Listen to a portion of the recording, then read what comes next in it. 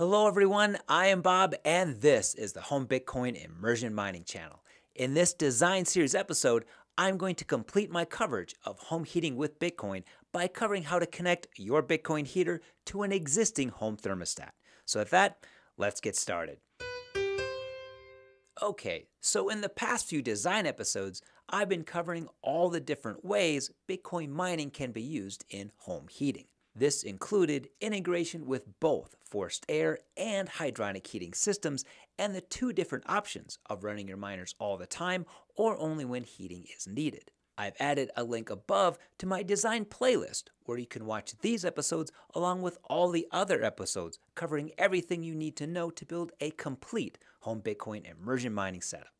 In this final episode on home heating, I'm going to focus on the final step in integrating a Bitcoin heating system with your house, and that is integration with your home thermostat. Now, as I stated in my very first episode, the goal of this YouTube channel is to add Bitcoin heating in a way that works seamlessly with your existing home heating system. And the way to accomplish this is to start with the existing home thermostat and build Bitcoin heating on top of it.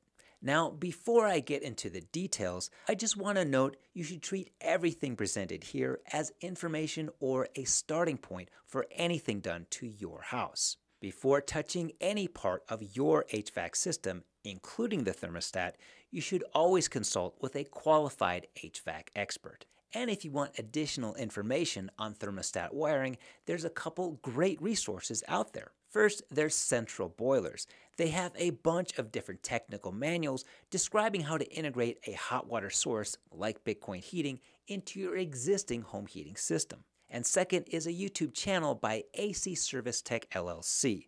They have a number of detailed thermostat wiring videos that were a great help in putting together this video. I put links below for both sources.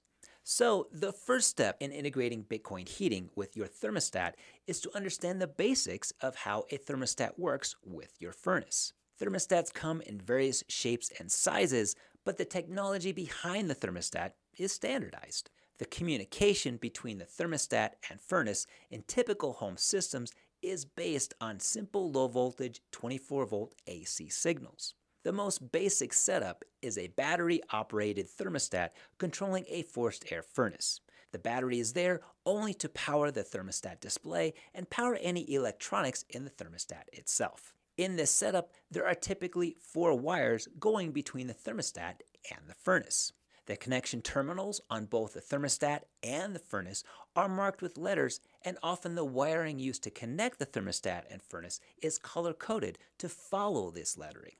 The first of these four wires is the R or red wire. This R connection on the furnace is the source of the 24 volt AC power used to control the furnace and other parts of the HVAC system. This 24 volt source is sent to the thermostat, which has a matching R terminal, and the thermostat then routes that 24 volt AC power to the other wires going back to different components of the HVAC system, controlling what gets turned on and off. This brings up the next wire, which is the G or green wire. This controls the fan in a forced air furnace.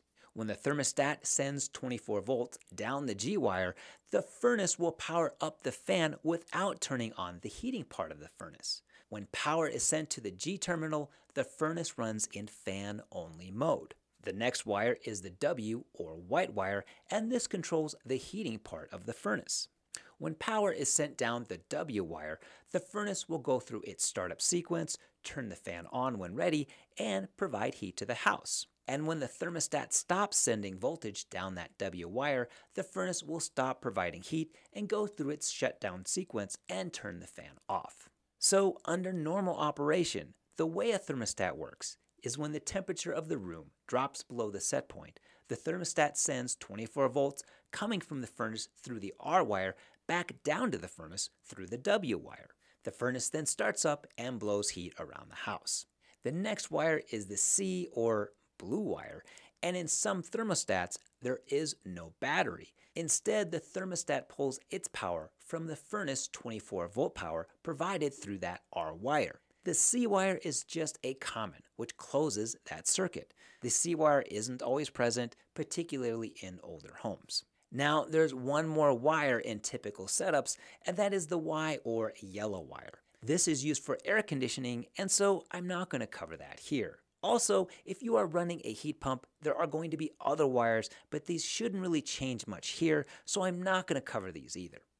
So with the basic wiring covered, adding Bitcoin heat is pretty straightforward, and I'll start with the simplest Bitcoin heating system, and that is a forced air furnace with a water to air heat exchanger in the output plenum of the furnace, and a system with the miners running all the time. For this setup, all that is needed is to put the furnace in fan only mode to blow air through the radiator and around the house. And the easiest way to do this is simply add a second cheap battery powered thermostat alongside the existing thermostat.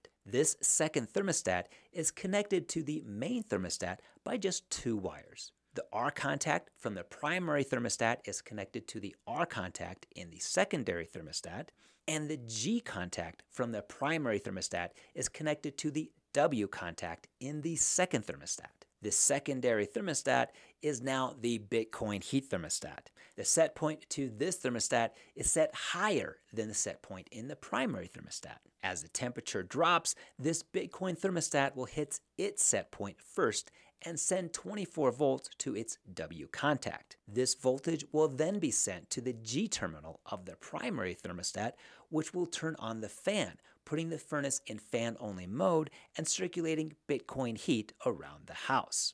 And if the Bitcoin heat isn't enough to keep the house warm, the temperature will continue to drop until it hits the primary thermostat set point. When that happens, the primary thermostat will operate normally and send 24 volts to the W contact, which will power the furnace as usual. And so adding a Bitcoin heating control to your existing thermostat can really be that quick and easy. It just takes a second thermostat and a couple wires. Now, adding a little more complexity to this simple design, if your existing thermostat is not battery operated and you wanted the Bitcoin thermostat also not to be battery operated, all that is needed is to add a third wire connecting the C terminals between the two thermostats, and everything else will work the same.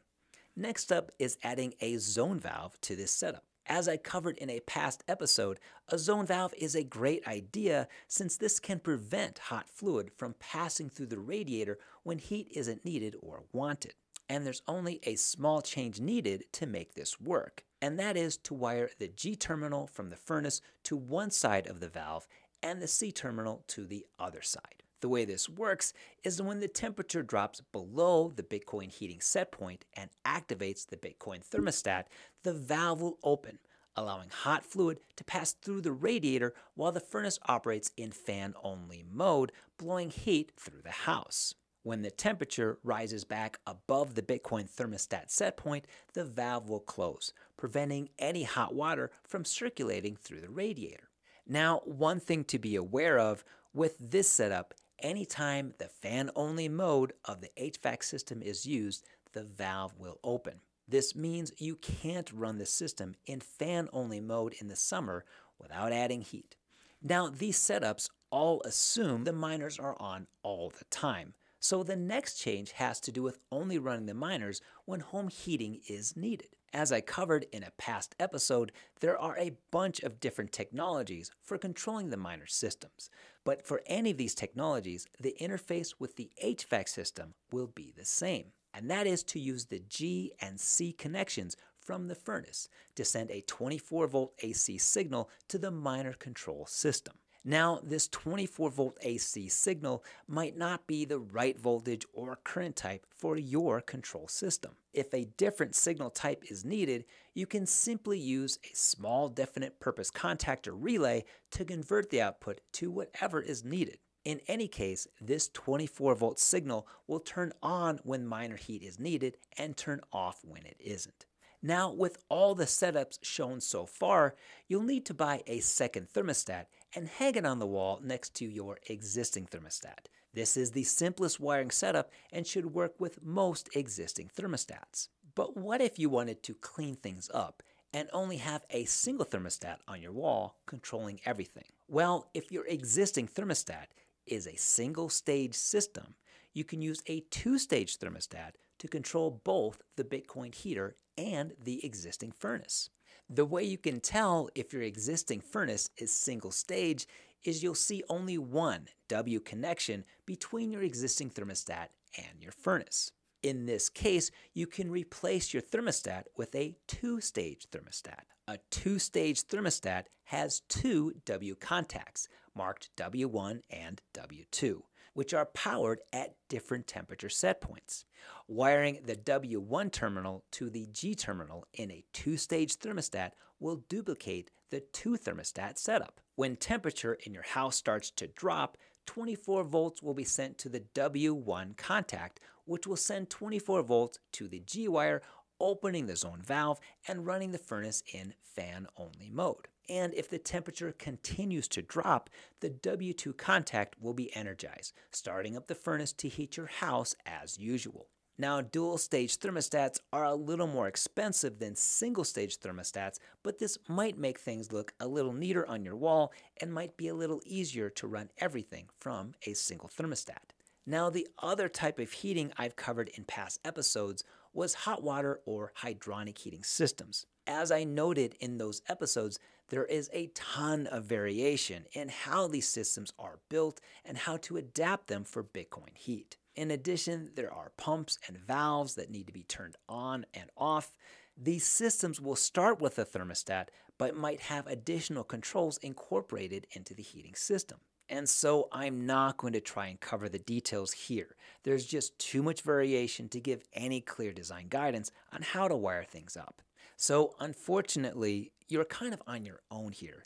You'll need to understand how your current system is wired, how it operates, and then adapt the controls to add Bitcoin heat. The thermostat wiring designs I covered for forced air hopefully will give you some starting ideas, but this is where it might be a really good idea to find an HVAC or hydronic system expert to give you a hand.